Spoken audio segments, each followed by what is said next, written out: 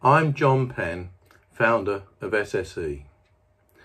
Today is for me an incredibly sad day.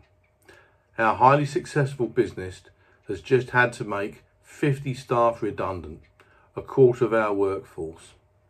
For every one of them, it's a personal tragedy, with the loss of a rewarding job and bringing them insecurity and worry. It's not just us, this is happening right across the UK rental sector, up and down the country. I've seen this company grow since I started in my garage 45 years ago. It's been my life's work.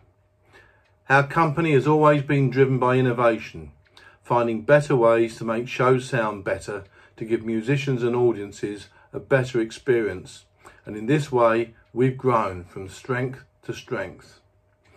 We've seen SSE Audio, along with our other UK group companies of Wigwam, Capital Sound and BCS Audio, grow to become the largest audio services supplier in the UK.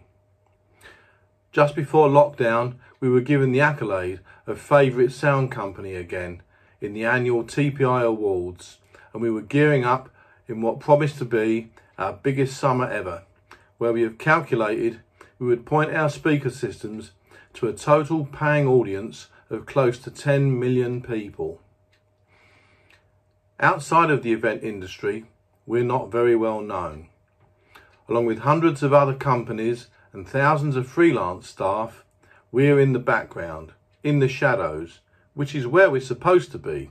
We're meant to be kind of invisible, just part of the magic of performances.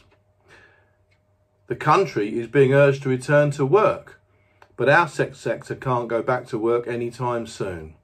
We're not allowed to. Our jobs depend on large gatherings of people, and that's simply not possible this year.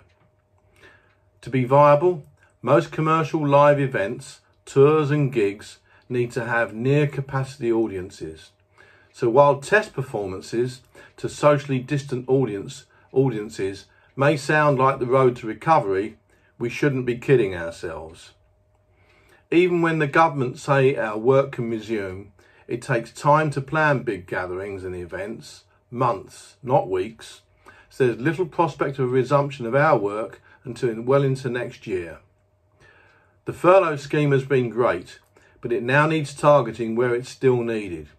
As furlough stops, so redundancies are being announced right across the industry we will have no choice but to cut our costs further to, consum- to conserve the funds we have left to enable us to keep afloat until we can safely return to work sometime next year. Our business and our industry has contributed huge amounts to the UK, not just to the enjoyment and feel good that we generate, but also through the taxes we've paid and to GDP. The touring and event industry generates billions in revenue to the UK economy. Unlike many other enterprises that contribute to the UK's cultural industry, we don't need Arts Council grants, lottery funding or wealthy benefactors because we're commercially successful in our own right.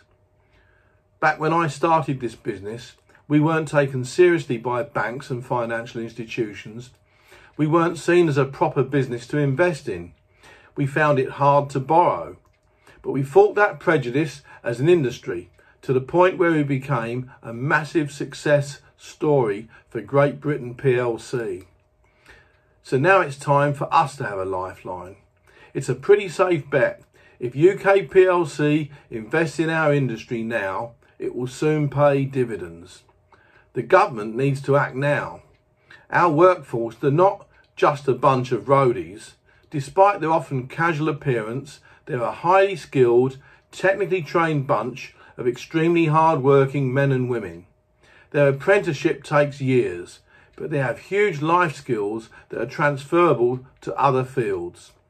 If we're forced to make even more of them redundant in the coming months, when the time comes to finally get back to work, we won't have enough of the skilled people left to be able to deliver. This applies to all the companies in this sector. Remember all those huge memorable events you've witnessed? Not forgetting that wonderful 2012 Olympic opening ceremony. That's what we do and why we're seen as the best in the world.